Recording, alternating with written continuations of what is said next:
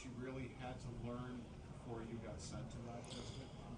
Um, yeah, uh, like last year I didn't know that, um, but I think like after playing a year here overseas, I kind of like reflected and uh, really saw that that year was really important for me in Raj.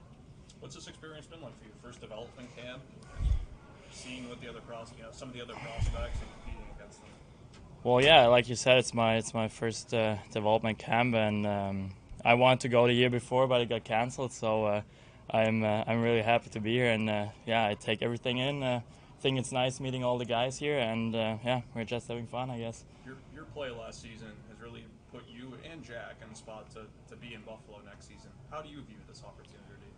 Well, I mean, uh, we always like want to get better every day, and um, of course, our our both of our dreams is uh, to play in National Hockey League. So, um, yeah, I guess um, it's a, it's a long summer still, and uh, we'll work out as hard as we can to to make the roster. What kind of resources Michael been? Really good. Like he is uh, yeah, such a such a good human and uh, such a great coach, and uh, yeah, just to learn from him and. Uh, like um, when he like talked about him playing, like I tried to soak in as, as much as I could because I mean he's a phenomenal player. So yeah.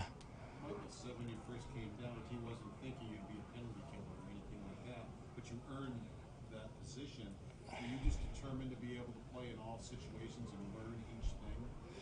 Well, yeah. When I came down, I didn't know that either. That uh, I'll, I'll be I'll be a penalty killer at the end of the season, but. I mean, it's always about ice time, and um, if you can, uh, if you get a trust from from the coach, also killing penalties, it, it meant a lot for me.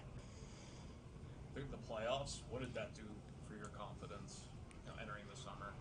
Um, I think a lot. I mean, playoff hockey is always uh, where you're playing the regular season for. So um, I think having a good good playoff gave me like the feeling that uh, now I'm gonna work extremely hard and even harder to uh, make the roster this season.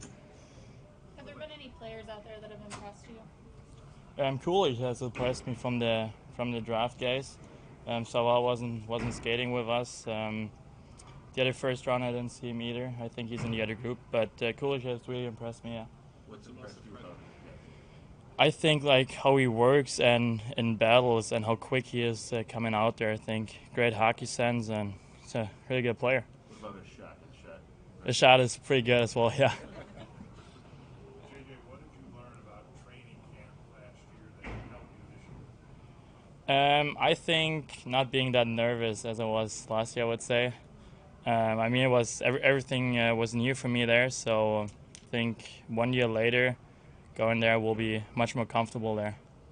How did getting those two games in whatever it was December kind of change your your outlook on everything? Have, have you just got that taste of it? Yeah, I think I, I saw what the what the National League is all about, and uh, I think after that I had like a better feeling. What's like kind of like the difference between the A and the NHL. So I think my my game really grew after that as well.